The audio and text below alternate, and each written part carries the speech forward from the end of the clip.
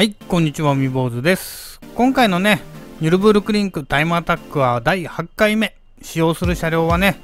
NSX-GT3 エボとなっております。このタイムアタック企画をするまではね、NSX 結構ね、勝手な認識っていうか、まあ、勝手な思い込みですよね。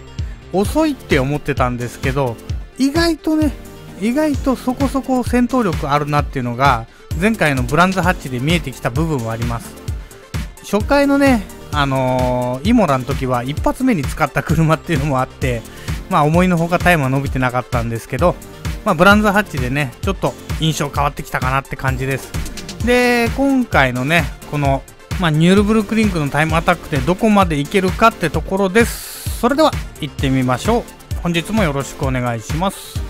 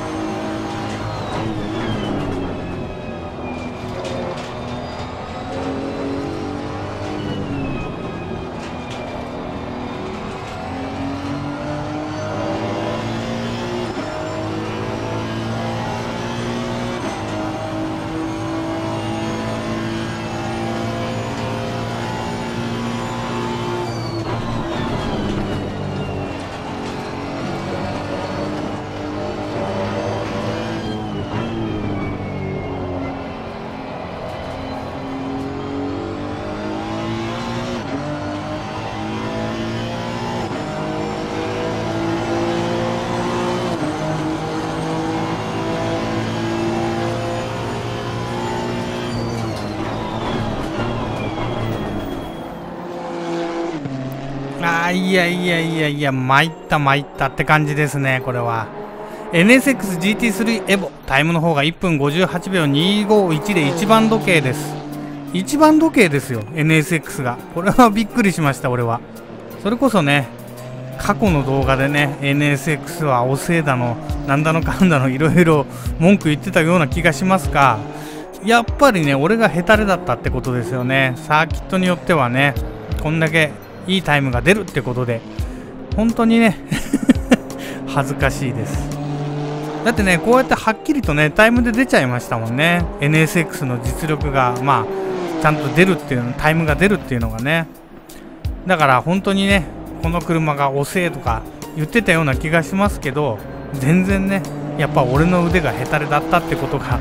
実証されたって感じですよね。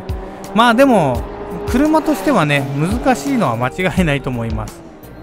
このね、ラップも、なんていうんですかね、平均的に刻んでって出たっていうよりも、まあ、ピタッとはまって出たって感じなんで、まあ、そうですね、連続で再現するのは難しいかなっていう部分はあるんですけど、まあ、出たことは出たんでね、安定感で言えば R8 のが上です。あと、コンチネンタル GT3。まあ、ここら辺のが安定感としては上なんですけど、一発ではね、まあ、出たよってことで、たまたまですよね、うまくいったって感じなんですけど、まあ、でも、本当に目から鱗って感じですね。ちゃんと扱いさえすればね、このラップが、まあ、平均的に出せるようにはなると思うんでね、